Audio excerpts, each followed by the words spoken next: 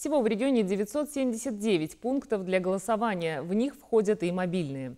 Насколько они доступны и безопасны, узнала Марина Тимофеева.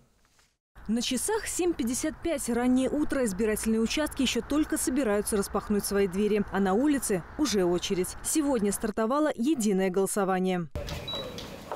Набор избирателя прост. Паспорт, ручка, маска и перчатки. Средства индивидуальной защиты выдают на месте. В ближайшие три дня ульяновцы выберут главу региона и депутатов Государственной Думы. Поэтому в руках у каждого, кто пришел оставить свой голос, сразу несколько бюллетеней. Проголосовать избиратели могут не только на специализированных пунктах, но и дистанционно. Например, пригласить членов комиссии домой. На вчерашний день у нас было 35 заявок.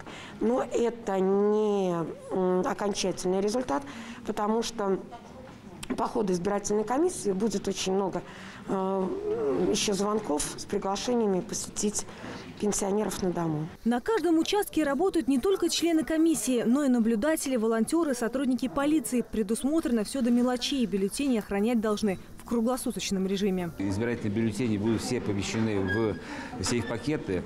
Сейф-пакеты будут а, пломбированы, закрыты. Там могут расписаться на них э, все желающие, там, члены комиссии, наблюдатели и так далее. Все эти сейф-пакеты будут помещены в специальные, для этого предназначенные, э, приобретенные металлические ящики, которые тоже будут закрыты, опломбированы, будут находиться под э, зорким взглядом видеокамер. Легитимно, доступно и безопасно пройдут выборы 2021 года, говорят эксперты. Поставить галочку напротив своего кандидата ульяновцы смогут до 19 сентября включительно. Человек хочет, э, так сказать, поучаствовать в выборах, принять свое решение и, соответственно, повлиять на эти выборы.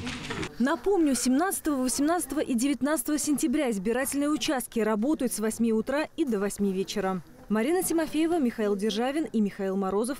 Вести Ульяновск.